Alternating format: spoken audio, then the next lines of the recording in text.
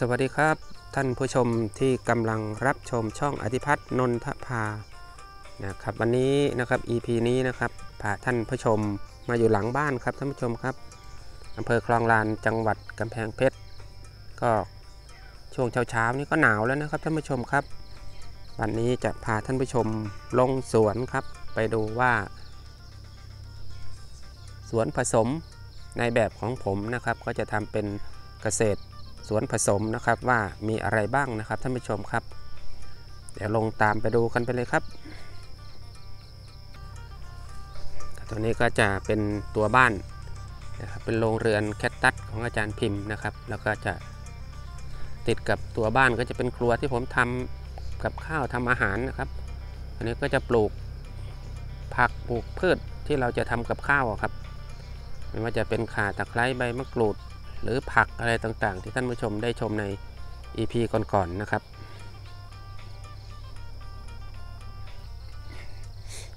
ใน EP นี้จะพาท่านผู้ชมมาดูนะครับว่า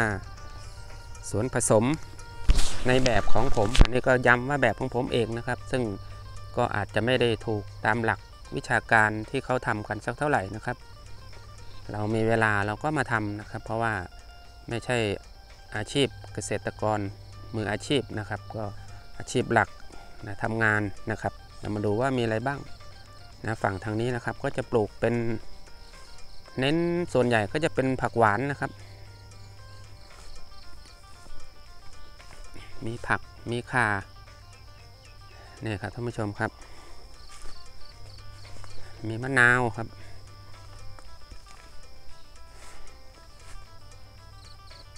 อันนี้ตรงนี้จะให้ดู ผักหวานครับท่านผู้ชมครับ นี่ครับท่านผู้ชม ผักหวานนี่ผมจะปลูกหลักๆ อยู่ทั้งหมด 3 แบบนะครับ แบบแรกก็คือแบบเมล็ดงอก เมล็ดงอกนี่ก็คือเราคำว่าเมล็ดงอกนี่คือเราซื้อเมล็ดมาครับ ซึ่งเป็น การปลูกที่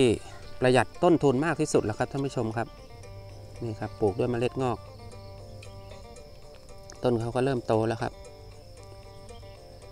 ต้นทุนเมล็ดก็แค่บาทเดียวครับท่านผู้ชมครับ บาทหรือ 2 บาทนะครับเราก็เอามาเพาะใส่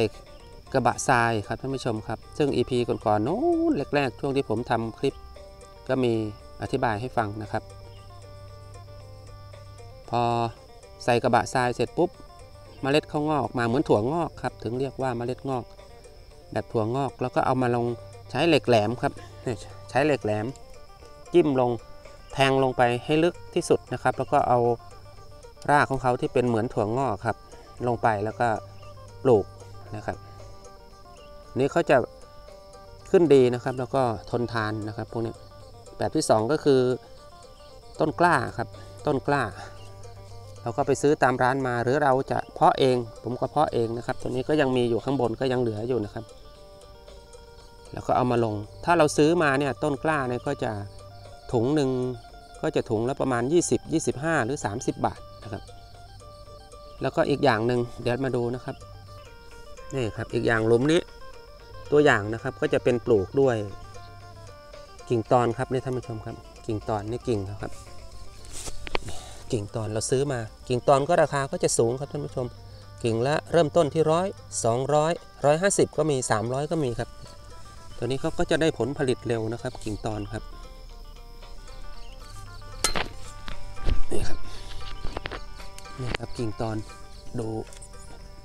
กิ่งก้านสาขาเขานี่เป็นแบบกิ่งตอนครับท่านผู้ชมครับ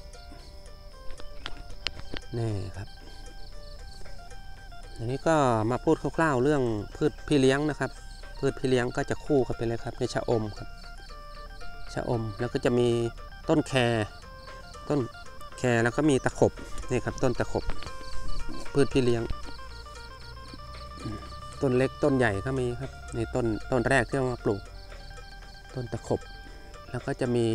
มะขามเทศครับเดี๋ยวเราเดินดูเราเจอตรงไหนเราก็จะบอกเล่าให้ท่านผู้ชมได้ฟังได้ชม นี่ก็จะเป็นกิ่งตอนครับ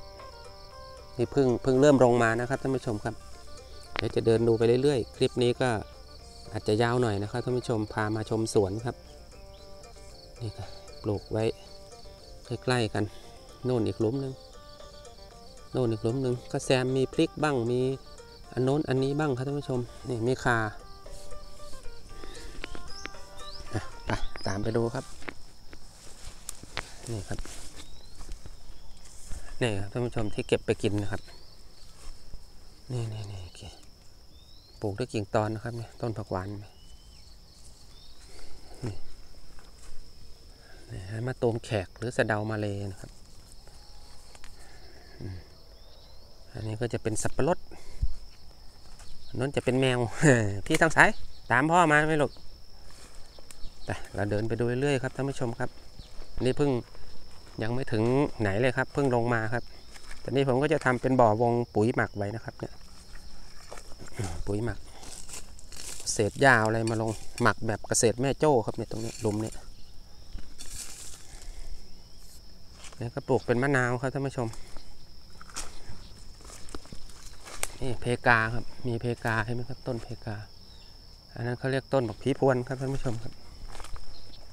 นี่ต้นนี้เขาเอิ้นต้นบักผีพวนครับเคยเห็นบ่นี่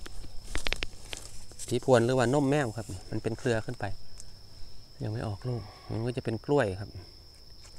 เป็นกล้วยม่วง นี่รู้ไหมครับอะไรครับเนี่ย ที่เราเอามาทำน้ำอร่อยอร่อยครับ นี่ครับอืม สวยมากเลยนี่จะไปทำไปดูครับ เป็นผสมผสานครับท่านผู้ชมครับ ตรงนี้ก็จะเป็นผักหวานครับ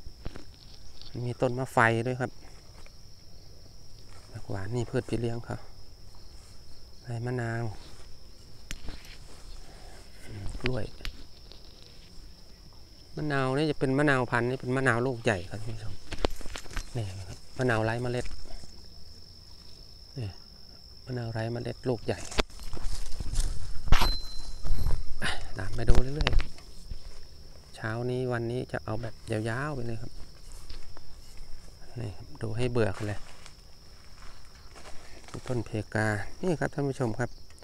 พามาดูผักหวาน นี่ครับทั้งแบบ กิ่งตอนแบบเมล็ดงอก นี่ก็เพิ่งเอามาลงเห็นไหมครับเนี่ยอันนี้ใช้เมล็ดงอกนะครับ เป็นเมล็ดงอก ที่เป็นเนี่ยขวดพลาสติกก็ครอบเข้าไว้ เผื่อกันอันโน้นอันนี้เข้าไปกันแมลงกันอะไรพวกนี้ครับแล้วก็ปลูกแซมไปเรื่อย ๆ ครับอันนี้ก็เป็นปีแล้วนะครับเนี่ยปลูกใกล้ๆกับต้นตะขบต้นนี้ก็โตแล้วครับท่านผู้ชมอืมแล้ วคนนี้ก็ปลูกด้วยเมล็ดงอก กิ่งก็จะเป็นกิ่งกระโดงขึ้นไปครับเนี่ยคนนี้เขาเรียกกิ่งกระโดงตรงๆสวยๆปลูกแซมๆกันไปผักหวานทั้งนั้นเลยครับไม่ต้องใช้ยางยางรถมอเตอร์ไซค์ครับแต่ก็กันครับ กันปุ๋ยกันดิน ไหลไปกับน้ำครับท่านผู้ชม ไปไปเรื่อยๆครับ กหวานครับมันแมวครับ แมวแมวไปดักจับไอ้นั่นแน่เลยฝอยทอง ไปแย่เขาไหมลูกปไปะแย่จิ้งกุ่งจีโปมจีโปมไปดูครับดูไปเรื่อยๆครับนี่ต้นผักหวานกำลังงามครับท่านผู้ชมครับปลูกตะไคร้ครับ มันเบอรี่ มันเบอรี่ นี่ก็จะเป็นฝรั่ง ฝรั่งไส้แดงนะครับท่านผู้ชมครับไปยังไม่ถึงไหนเลย ไปละสิบนาทีแล้ว ส่วนนี้ก็จะเป็นมะยงชิดครับท่านผู้ชมมะยงชิด ก็จะปลูกเป็นโซนเป็นโซนไว้ โซนนี้ก็จะเป็นมะยงชิด มีมันมะลี่ มีมะละกอนะไปตามส้มได้แล้วครับ ลงไปเรื่อยๆครับนี่ต้นมะยงชิดนู่นนี่ผักอีตูผักเกษตรครับแล้วไปกินกระตำหุ้งกินกระป้นปลาต้นมะยงชิดต้นใหญ่ไปดูไปเรื่อยๆครับต้องหยอดไปขึ้นบ้านลูกไปไปพี่พากันขึ้นบ้านเร็ว นี่ครับเป็นรูเต็มหมดแล้วครับเนี่ยรูจิ้งโกงนี่เห็นไหมเต็มหมดแล้วครับ ธรรมชาติเราปลูกแบบเป็นอ่าไม่ได้ใช้สารเคมีครับท่านผู้ชมแตงมะนาวมะนาวมะม่วงปลูกไว้ครับมีกล้วย เครือกำลังสวยครับ นี่นี่เป็นมะม่วงเขียวใหญ่ครับ ลูกก็ใหญ่ลูกเป็นโลกว่า ใต้ต้นมะม่วงเราก็จะจำลองเป็นธรรมชาติครับ ปลูกหนอกระเจียว เอามาลงไว้ครับหนอกระเจียว นี่ก็จะเอาไว้ใบยอเอาไว้ห่อใบยอหมกใบยอนี่อะไรรู้ไหมครับเนี่ยนี่นี่คลิป EP ก่อนผมสาธิตการปลูกไว้นะครับ สับปะรดปลูกเป็นแถวไว้นี่นี่นี่ที่ผมปลูกไว้สาธิตการปลูกครับเนี่ยเดี๋ยวท่านผู้ชม EP ก่อนก็ย้อนกลับไปดูนะครับ นี่เห็นไหมครับ แก้วมังกรครับนี่กำลังปลูกไว้ พอดีรุ่นก่อนมัน มันเป็นโรคตายก็เลยเอารุ่นใหม่มาปลูก นี่ก็จะเป็นผักครับนะเห็นไหมครับปลูกคาไว้ปลูกผักไว้ผักอีเลิศครับ ชะพลูนี่ครับเต็มต้นเลยเห็นไหมครับใต้ต้นไม้ไปขึ้นบ้านกันนะลูกเดี๋ยวพ่อขึ้นมาอีกพักแหละใต้ต้นมะม่วงก็ปลูกไว้ข้างในอันนี้เป็นอะไรนะปลูกเยอะจนลืมแล้วนะขิงไอ้อะไรนะกระชายกระชายครับเนี่ยอันนี้เป็นกระชายครับท่านผู้ชม เดี๋ยววันนี้จะไปตอนไปนี่จะไปฝั่งขวาก่อนเดี๋ยวขากลับจะย้อนกลับมาฝั่งอีกฝั่งครับนี่ก็กล้วย โอ้เครือใหญ่มากเลยนี่ครับก็จะมีกล้วย มีหลาย ๆ อย่างครับ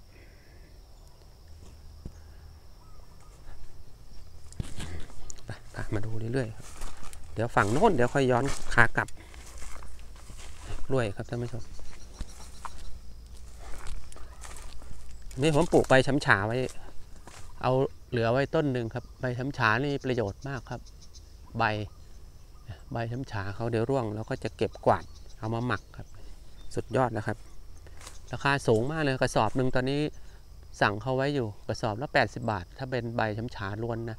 ถ้าเป็นใบช้ำฉาหมักเนี่ย ก็ราคากระสอบละกระสอบปุ๋ยเราครับกระสอบปุ๋ยยูเรียครับ ถ้าเป็นหมักใส่ หน้าดินพร้อมหน้าดินเนี่ยก็จะราคากระสอบละ 50 บาทครับไปเรามาดูต่อ นี่ก็จะเป็นทุเรียนครับท่านผู้ชมครับ ทุเรียนก็มีอยู่หลายต้นอยู่ครับ เดี๋ยวพาไปดูเรื่อยๆครับอันนั้นจะเป็น ชมพู่น้ำดอกไม้ครับ ชมพู่มีต้นพันธุ์ด้วยนะครับ ท่าน FC อยากได้ก็ทักเข้ามานะครับเนี่ยผมชำไว้ครับ ชำใส่ถุงดำไว้ครับ ชมพู่น้ำดอกไม้ครับ ถ้าอยากรู้ว่าต้นนี่นี่นี่ครับเนี่ยเขาแตก ถ้าอยากอยากรู้ว่าลูกเขาเป็นยังไงก็เซิร์ชเข้าไปดูในเน็ตได้นะครับ หรือ EP ก่อนๆนะครับ ผมก็ทำไว้อยู่ น้ำดอกไม้ ชมพู่หายากครับ ชมพู่โบราณครับนี่ก็ปลูกไว้มะนาวกล้วย อันนี้เป็น ผัก กินกับลาบ ผักติ้ว ผักติ้วนี่ครับ ชอบอะไรเราก็ปลูก ปลูก สิ่งที่เรากิน กินอะไรก็ปลูก เหลือก็ขาย เหลือแจกจ่ายไปก็ขาย ใต้ต้นมันก็แซมจำลองป่าให้เขาหน่อกระเจียว แซมไปด้วยต้นผักหวาน ก็ชื่อเขาก็บอกผักหวานป่าเขาก็อยู่ในป่าเนี่ย เนี่ยเพิ่งเอามาลงครับเดี๋ยวนี้ปลูกด้วยเมล็ดงอก ต้นทุนก็เมล็ดละบาทครับนี่ครับท่านผู้ชมครับเมล็ดงอกหนึ่งงอกหนึ่งงอกนี่ก็หนึ่งบาทสองบาท อันนี้ก็ปลูกไว้เยอะหน่อยสามสี่งอกปะอันนี้แบบไม่ตัดต่อนะครับยาวๆไปเลยครับ ที่เห็น มุงไว้เนี่ยนะครับสแลมมุงไว้ก็เพิ่งเอามาลงใหม่นะครับ เป็นกิ่งตอนครับผักหวานป่าปลูกด้วยกิ่งตอนก็กิ่งแล้วขั้นต่ำก็หนึ่งร้อยขึ้นไปครับท่านผู้ชมเนี่ยโอเคครับ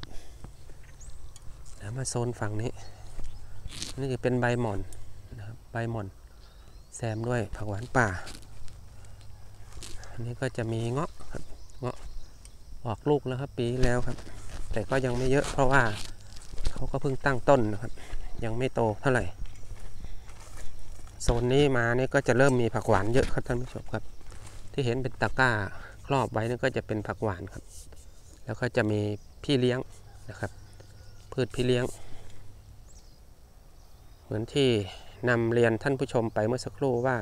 พืชพี่เลี้ยงที่สวนหลักๆ ก็ใช้อยู่ 4 อย่าง พืชพี่เลี้ยงระยะสั้นก็จะมีเป็นชะอม นะครับกับแคร์นะครับปลูกคู่กันไปเลยครับ ตอนปลูกนี่ผักหวาน ต้นผักหวาน สังเกตแมลงนะครับ ผมไม่ได้ใช้สารเคมีครับแมลงเขาก็กัด มันก็มีข้อดีนะครับท่านผู้ชมครับแมลงเนี่ยเขาก็จะช่วยเราช่วยเราเด็ดตัดตัดแต่งกิ่ง ตัดแต่งกิ่งยังไงครับท่านผู้ชมครับนี่เห็นไหมครับ ธรรมชาติของผักหวานเขาก็จะเป็นต้นยาวสูงขึ้นมาใช่ไหมแต่พอแมลงกัดเข้าไปเนี่ยแมลงกัด กัดยอดเขาก็จะแตกจากหนึ่งก็เป็นสองเป็นสามเป็นสี่เห็นไหมครับ ให้อย่างกิ่งเนี่ยนะครับเดี๋ยวเราก็จะมาบำรุงเขาหน่อยหนึงเนี่ยครับนี่เป็นพืชพี่เลี้ยง พืชพี่เลี้ยงระยะสั้นอีกอย่างก็จะเป็นแครครับนี่นี่แครครับ ระหว่างที่เรารอผลผลิตจากผักหวาน แล้วก็เก็บดอกแครไปกิน เก็บยอดแครไปกิน เหลือก็ขายได้ครับท่านผู้ชมเนี่ยเห็นไหมครับ มีแครพืชระยะกลางๆ หรือว่าเป็นระยะยาวก็ว่าได้ ก็จะเป็นนี่ครับตะขบ แต่ละอย่างเขาก็จะมีข้อดีข้อเสียนะครับ ท่านผู้ชมครับ ในเรื่องของพืชพี่เลี้ยงผักหวานป่าครับ อย่างเช่นชะอมอะพูดถึงเรื่องชะอมก่อน ชะอมนะครับเนี่ยข้อดีในในส่วนตัวผมผมว่าเป็นเป็นข้อดีเยอะกว่าข้อเสียนะครับ ข้อเสียเขาก็จะมีหนามเนี่ยครับข้อดีของเขาก็คือตายยากนะครับชะอมเราก็จะสามารถที่จะเป็นพืชพี่เลี้ยงได้ ยอดเขาก็เก็บขายได้ท่านผู้ชมอาจจะสงสัยว่าเอ๊ะทำไมต้องมีพืชพี่เลี้ยง เพราะว่าผักหวานป่าเนี่ยเขารากเขาเนี่ยก็จะไปเกาะครับท่านผู้ชม เหมือนคล้าย ๆ เป็นปรสิตครับ รากเขาก็จะไปเกาะไปเกาะกินกับรากของพืชพี่เลี้ยงเนี่ยครับปลูกไว้ใกล้ ๆ ต้นเนี่ยครับเห็นไหมครับตะขบเนี่ยรากผักหวานป่าเนี่ยครับเขาก็จะไปเกาะรากของพืชพี่เลี้ยงครับ เกาะกินอาหารครับ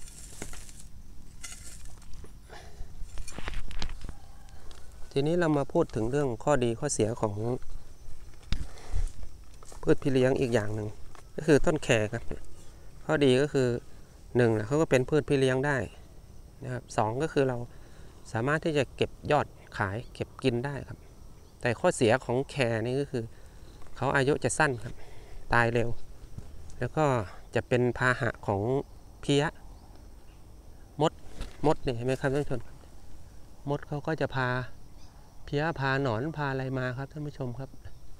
นนี้คือข้อเสียของเขาทีนี้มาพูดถึงเรื่องพืชพี่เลี้ยงอย่างที่สามก็คือ ตะขบ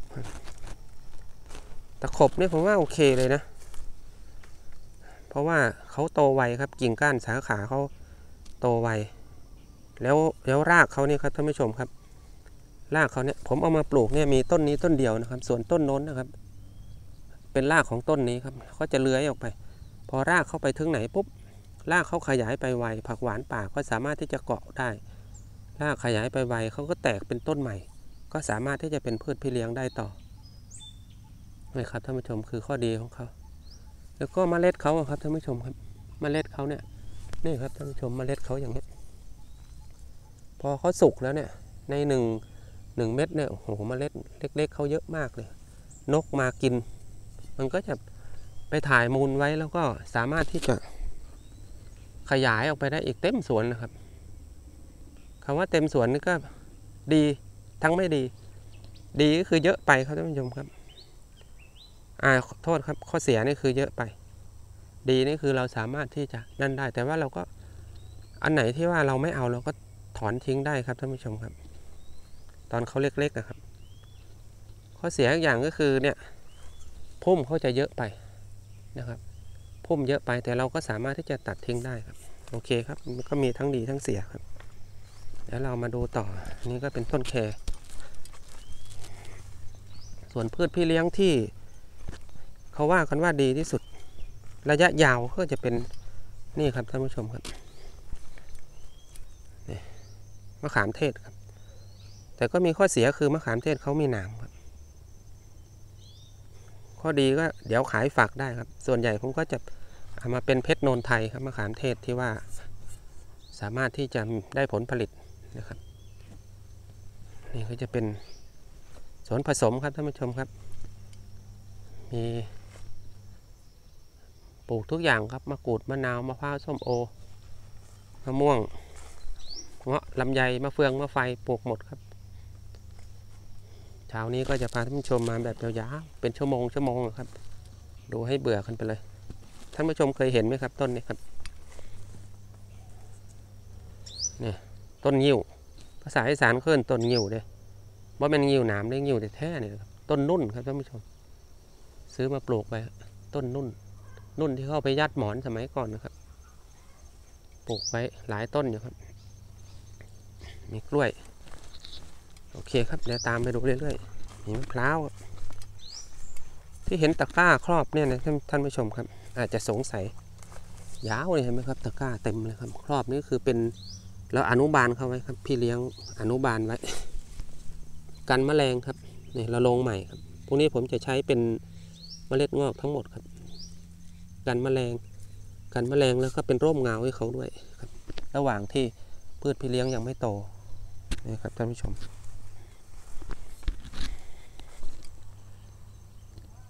ดี๋ยวเราก็จะไปดูว่ามีอะไรบ้างนะครับ ในสวนของผมนะครับ เป็นสวนผมเองนะครับ ไม่ไม่ได้มาถ่ายทำสวนคนอื่นนะครับ ก็หลายท่านก็เชื่อว่ามีไอเดียดีกว่าผมเยอะนะครับของผมเนี่ยไม่ใช่มืออาชีพ ผมมีงานประจำทำนะครับ แต่ว่าก็ก็รักในเรื่องของการเกษตรครับตามไปดูเรื่อยๆก็จะมีตะขบ มีชะอมครับเป็นพืชพี่เลี้ยงแล้วก็มีนี่ครับปลูกไว้มะขามเทศครับท่านผู้ชมเพชรโนนไทยไปไปดูกันครับ ดูไปเรื่อยๆครับ ที่มุงไว้เนี่ยใช้แสแลมเนี่ยก็จะเป็นกิ่งตอนทั้งหมดนะครับปลูกด้วยกิ่งตอนกิ่งตอนมุงให้เขาก่อนระยะแรกครับท่านผู้ชมเนี่ย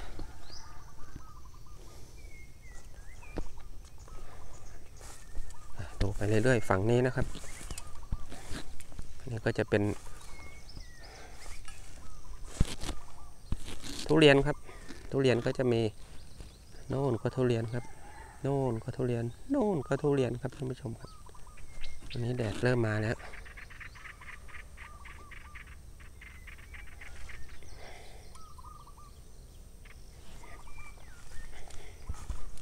ก็ดูไปเรื่อยๆอย่าเพิ่งเบื่อนะครับท่านผู้ชมครับนี่เราก็มาดูครับนี่มะขามเทศ ชะอม ปลูกไปเรื่อยๆครับ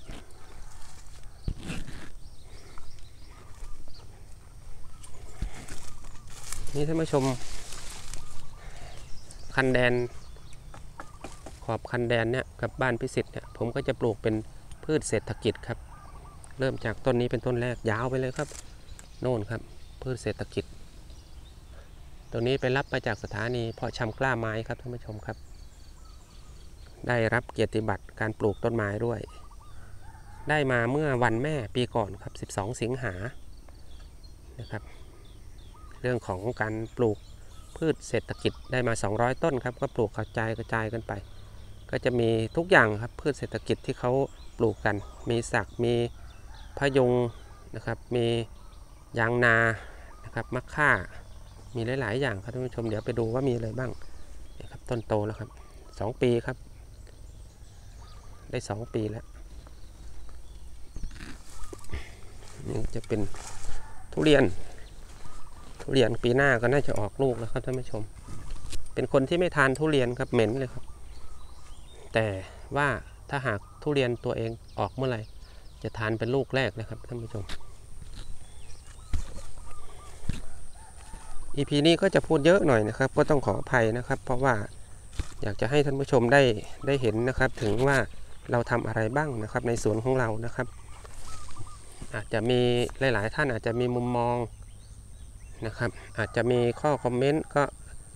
คอมเมนต์เข้ามาได้นะครับ ยินดีรับฟังทุกคอมเมนต์ครับมาเดินสูตรบรรยากาศยามเช้าเลยครับ นี่ครับท่านผู้ชม เป็นผักหวานครับโซนนี้เป็นผักหวาน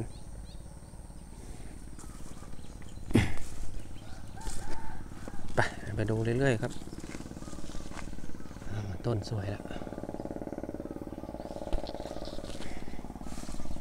อ่าพูดถึงระบบน้ำนะครับ เดี๋ยวเดี๋ยว EP ต่อไป EP หน้าเนี่ยก็จะทำเรื่องระบบน้ำให้ท่านผู้ชมได้ชมนะครับว่าในสวนของเราสวนใหญ่ ๆ อย่างนี้เราทำระบบน้ำยังไงนะครับ อันนี้ก็ให้ดูคร่าวๆก่อนนะครับ อย่างอย่างต้นทุเรียนต้นนี้นะครับ ผมก็ทำระบบน้ำไว้นี่นะครับเปิดสปริงเกอร์ให้เขาครับ ระบบน้ำก็จะต่อมาจากสระใหญ่ครับเดี๋ยวจะให้ดูคร่าวๆแต่เจาะลึกรายละเอียดเดี๋ยวทำ EP ถัดไปครับท่านผู้ชมเป็นท่อสี่หุ่นครับเปิดสปริงเกอร์น้ำแรงดันสูงครับ ท่อนี้ท่อเมนหลักก็จะเป็นท่อ 2 นิ้วครับตอนนี้ก็จะทำก๊อกเผื่อไว้ครับ เดี๋ยวทำไปดูเรื่อยๆครับท่านผู้ชมหวานกิ่งตอน ก็จะปลูกสลับกันไปครับ มีทั้งกิ่งตอนมีทั้งเมล็ดงอก มีทั้งต้นกล้า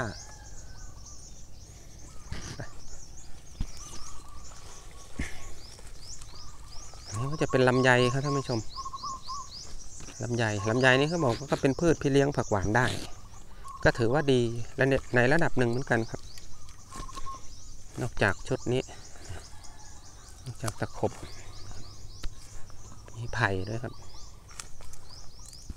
นี่ครับผักหวานนี่ครับท่านผู้ชมครับต้นผักหวานป่า ตายยากครับผักหวานเนี่ยแต่ก็โตนานกว่าจะโตครับ ผักหวานครับเห็นไหมครับปลูกไว้ครับให้ลำไยเป็นพี่เลี้ยงครับท่านนี้ต้นกำลังสวยครับ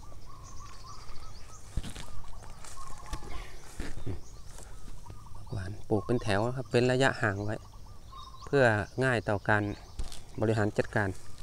นี่ครับ ต้นนี้สวยครับมะขามเทศแล้วก็ทุเรียน ในเรื่องของการปลูกนะครับผลตัวนี้ผมก็วางผังนะครับในเรื่องของต้นไม้ใหญ่ครับท่านผู้ชม วางผังวัดระยะห่างกัน 8 เมตรนะครับ แต่ละต้นนะครับ แล้วก็จะทำเป็นระบบน้ำสปริงเกอร์ไว้ทุกต้น ต้นไม้ใหญ่ทุกต้นก็จะมีระบบน้ำให้เขานะครับ ส่วนแปลงผักหวานเนี่ยผมแปลงผักหวานนี่เอามาลงทีหลังครับท่านผู้ชม พอลงทีหลังปุ๊บเราก็ยังไม่ได้ทำระบบน้ำนะครับ ก็เลยต้องใช้สายยางรดไปก่อนครับ แต่ต้นไม้หลักๆ ต้นใหญ่ ๆ อย่างต้นทุเรียนต้น ขนุนต้นเนี่ยลำไยนี่ก็จะมีระบบน้ำให้เขาอยู่แล้วครับ นี่ครับท่านผู้ชมครับนี่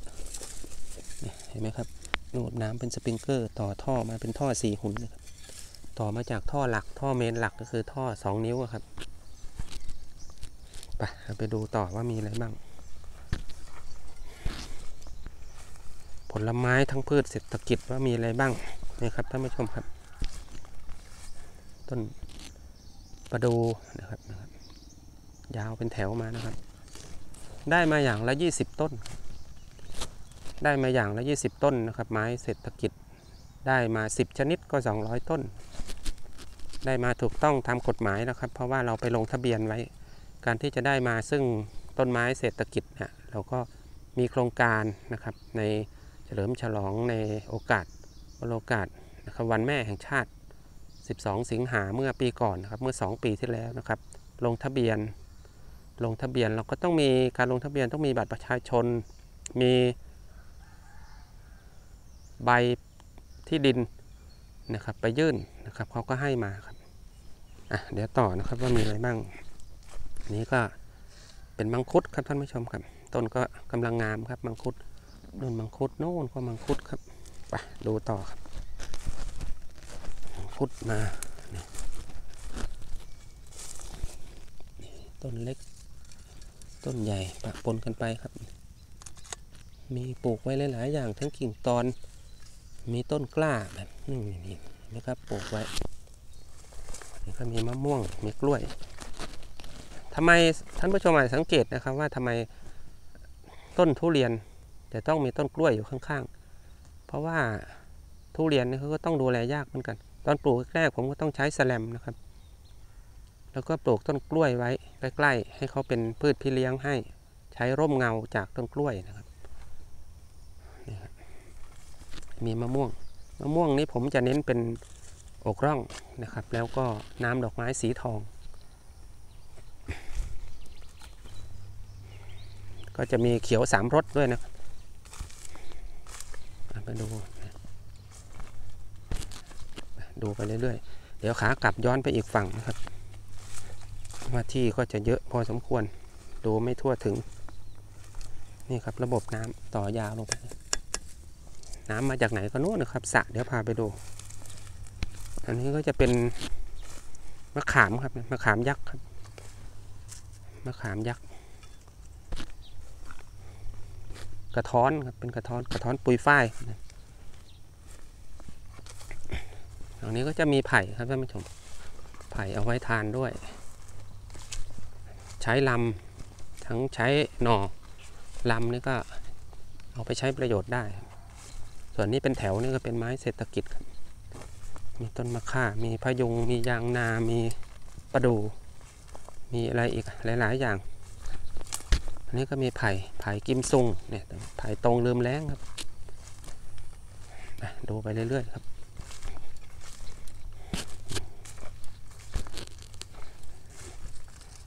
ต้นกำลังงาม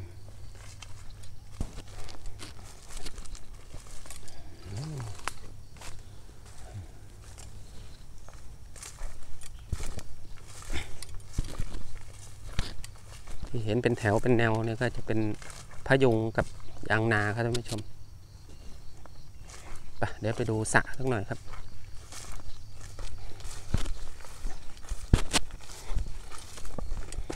นี่ครับท่านผู้ชมครับ โอ้มันซ้อนย้อนแสง ย้อนแสงย้อนแสง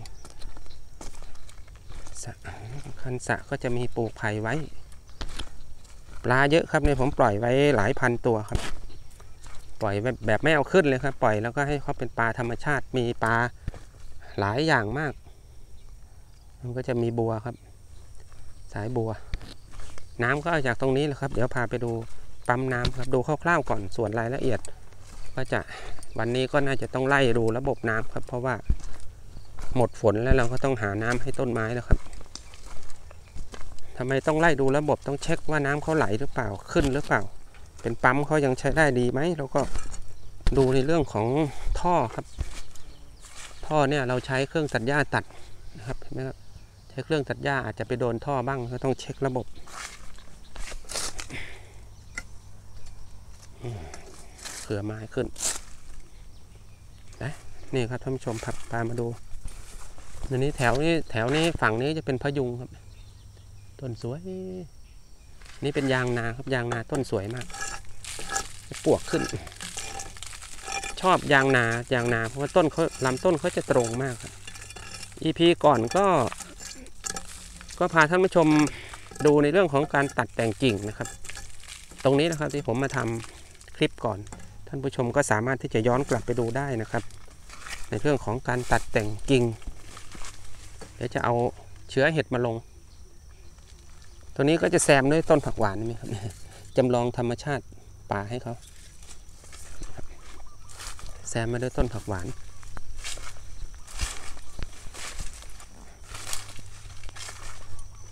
ภาพนี้ EP นี้ก็จะถ่ายแบบยาวๆนะครับท่านผู้ชม แล้วก็ ไม่ได้ใช้ไม้กันสั่นนะครับ ก็จะถือขาตั้งกล้องมา อาจจะภาพอาจจะไม่สมบูรณ์ก็ต้องขออภัยนะครับนี่ครับปลูกสลับกันไว้นะครับ กิมซุงไม้ไผ่ตรงลืมแรงครับนี่ครับตอนนี้ก็ปล่อยให้เขาเป็นลำต้นไว้ก่อน เพราะว่าปีหน้าก็ถึงจะตัด แต่ก็เอาไปกินบ้างแล้วครับ ถ้าเขารู้สึกว่าเขาเยอะไปเราก็เอาไปกินได้ ไปดูต่อ ดูระบบน้ำกันนิดนึงได้ว่าน้ำมาจากไหน นี่ครับท่านผู้ชมต้นสวยนะครับ ต้นนี้สวยสุดนะครับ ยางนาครับลำต้นเขาจะตรงโอ้ปวกเยอะอืม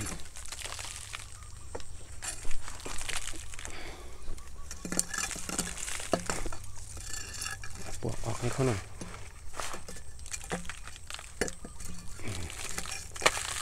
ท่านผู้ ชมมีข้อแนะนำนะครับ ก็คอมเมนต์เข้ามาได้นะครับ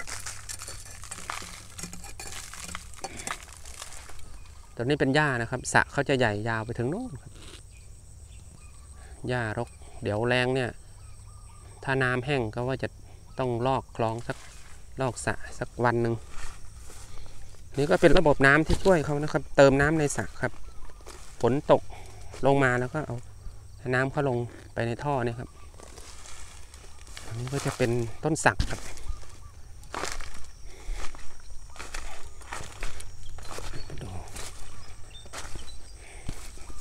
ก็จะทำเกี่ยวกับการปักเบ็ด ก็ยังไม่ว่างมาปักเบ็ดนะครับท่านผู้ชมเดี๋ยววันไหนว่างๆก็จะมาปักเบ็ดพาท่านผู้ชมมาดูปลานะครับนี่ครับระบบน้ำมาจากตรงนี้ครับท่านผู้ชม ผมต่อเป็นเสาไฟ สองเส้นมาเลยนะครับ อันนี้ก็จะทำปลั๊กไว้ตรงนี้ครับคัดเอาไว้ นี่ก็จะเป็นปั๊มครับ ปั๊มนี่ก็ต้องล็อกใส่กุญแจอย่างดี เพราะว่ามันไกลบ้านเนาะมันไกลบ้านก็ต้องเป็นห่วงครับกลัวเขาจะไม่อยู่กับเรา นี่ครับกุญแจล็อกไม่ต้องกลัวหายครับ น้ำก็จะต่อท่อสองนิ้วขึ้นมาจากโน่นใช้ปั๊มหอยโข่งปั๊มใหญ่ ดูครับ ต่อท่อขึ้นไปข้างบน แล้วก็ทำระบบน้ำสปริงเกอร์ มาทำสายยางบ้างแต่ที่เรารั้วรอบขอบชิดครับ เราก็ล้อมรั้วไว้หมดนะครับที่นะไปดูว่ามีอะไรมั่งนนี่มะขามยักษ์ มีสะเดา แล้วก็ อันนี้ก็จะเป็นเลนจี่ครับท่านผู้ชมโซนนี้ก็จะเป็นเลนจี่ก็จะปลูกไว้ใกล้ ๆ กันครับ มีเงาะเป็นระยะห่างระยะห่างเท่ากันเลยสังเกตไหมครับ ผมจะวัดแบบเท่ากันเลย ต้นไม้ก็จะตรงกันเลย ต้นนี้ต้นโน้นต้นโน้นต้นโน้นก็จะตรงกันครับ ระยะห่างระหว่างต้นเท่ากัน ต้นไม้ใหญ่นะครับ แล้วก็ทำระบบน้ำไว้ครับท่านผู้ชมถ้าอยากจะ เข้ามาศึกษาก็ทักเข้ามาได้นะครับ ออกแบบเองทำเอง ระบบน้ำเป็นสปริงเกอร์อันนี้ก็จะเป็นเงาะเป็นลำไยอันนี้ก็จะเป็น นี่ครับ อินทพลัมเพิ่งเอามาลงครับ บาลิไฮอันนี้ต้นพันธุ์ราคาค่อนข้างสูงครับ นี่ครับ ตายยากครับอินทผลัมเพราะว่าเขาเป็นต้นไม้ทะเลทรายก็จะเป็นต้นผักหวานนี่ลิ้นจี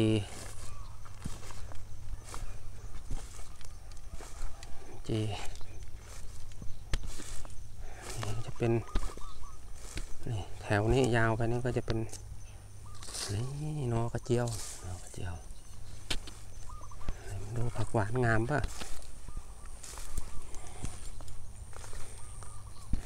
ก็หลักๆนะครับพืชพี่เลี้ยงผักหวานก็จะเห็น ถ้าเราเห็นต้นผักหวานแล้วก็จะเห็นต้นตะขบ ตะขบต้นชะอม ต้นแครต้นแครนี่เขาตายเร็วเขาปลูกแล้วเขาก็อายุไม่นะไม่ยืนหวานกำลังงาม นี่ งามงามก็เป็นความชื่นใจของ คนปลูกนะครับ ปลูกแล้วผลผลิตเรางามนี่ครับนี่ครับอันนี้ทำเป็นกันแมลงกันแดดให้เขาทำร่มเงาให้เขาปลูกคู่ชะอมชะอมปลูกคู่กันได้เลย ส่วนตะขบต้องเป็นระยะห่างครับต้นนี้ก็งามนะครับท่านผู้ชมเห็นไหมครับชะเออนี่ มีตะขบด้วยมีชะอมด้วยผักหวานงามแล้วครับปลูกเป็นแถวเป็นแนวไว้ นี่งามแล้วครับไปดูเรื่อยๆครับท่านผู้ชม ก็อย่าเพิ่งเบื่อกันนะครับท่านผู้ชม ขอบพระคุณทุกการติดตามกดไลค์กดแชร์ท่านผู้ชมอาจจะทำงานไปด้วยแล้วก็เปิดทิ้งไว้เลยครับยาวๆเลยครับก็มีไผ่อันนี้ก็มีนี่ครับมะม่วง เขียวสามรสดกมากครับปีที่แล้วเนี่ยเขียวสามรสครับอันนี้เป็นฝรั่งฝรั่งกิมจูไปดูไปเรื่อยๆครับ ก็จะปลูกแซมด้วยใต้ต้นเอากระเจียวแซมใต้ต้นมะม่วง นี่เป็นอกร่อง ท่านผู้ชมเคยเห็น นี่เป็นผักหวานป่านะครับ แต่นี่ครับผักหวานบ้านครับท่านผู้ชม ผักหวานบ้านนี่ครับท่านผู้ชมถ้าอยากได้นะครับ ลองไปดูในในเน็ตเนาะผักหวานบ้านเป็นยังไงนี่ครับ เม็ดมัน ถ้าอยากได้เม็ดก็ทักมาครับเดี๋ยวส่งไปให้นี่ครับเห็นไหมครับ รสชาติก็ไม่ไม่ ไม่อร่อยสู้ผักหวานป่าไม่ได้ครับ แต่ว่าก็พอทานได้ครับมะขามมะขามเทศ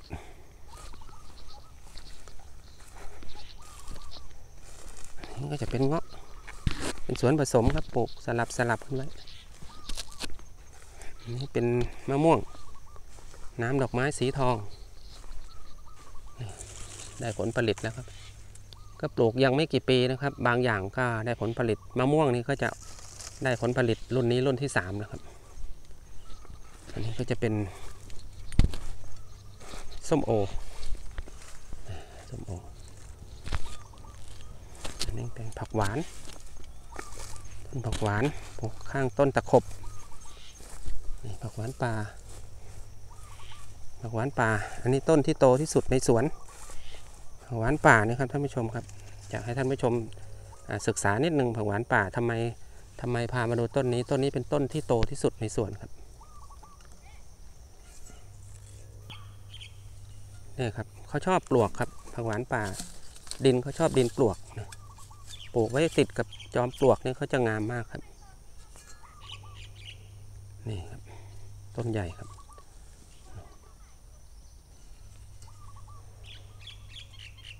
นี่ก็ต้นใหญ่ครับ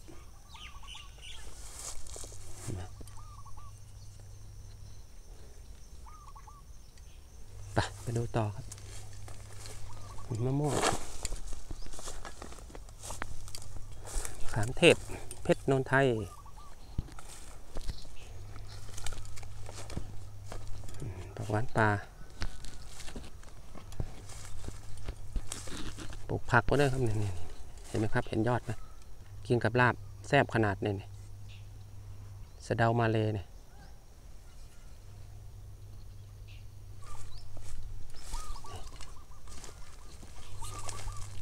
ผักหวนป่า เดี๋ยวพาดูหน่อยว่าต้นโตขนาดไหนนะนี่เพิ่งลงนะครับ ลงไม่กี่เดือนนี่นี่เล็กใช้เป็นเมล็ดงอก อะไรปะ ก็ถ่ายแบบเร็วๆครับท่านผู้ชมครับ เสียงอาจจะมีอันโน้นอันนี้บ้าง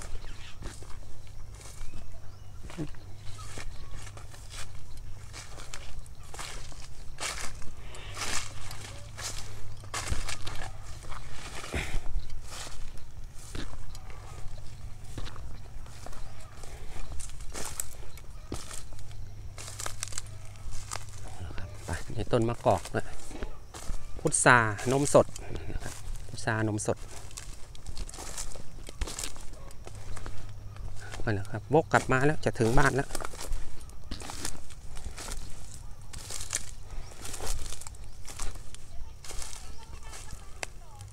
นี่เป็นมะเฟือง ลูกไม่โตครับปีนี้ ไม่ได้ใส่ปุ๋ยให้เขาไป ไปดูด้วย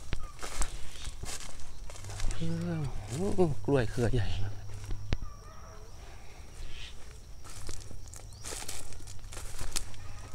แก้วมังกร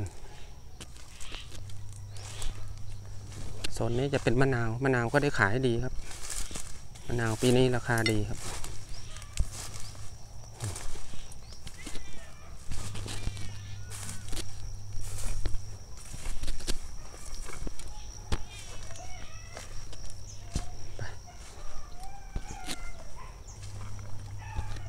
นี่ครับนี่เป็นมะนาว มะ นาวน้อยเม็ดน้อย เม็ดแทบไม่มีครับ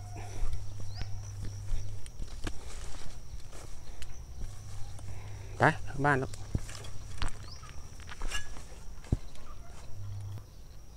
โอเคครับท่านผู้ชมครับ วันนี้ก็พาท่านผู้ชมมาดู บรรยากาศของ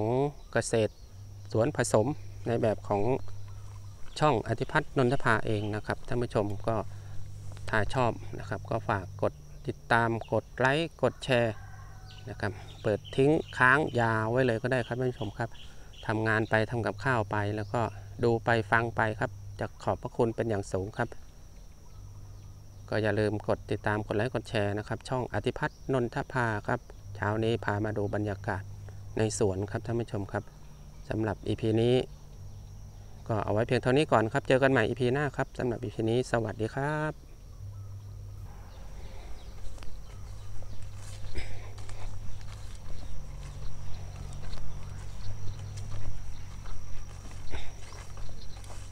ไปลูกไปขึ้นบ้านด้วยพี่สายล่ะ ไปเร็ว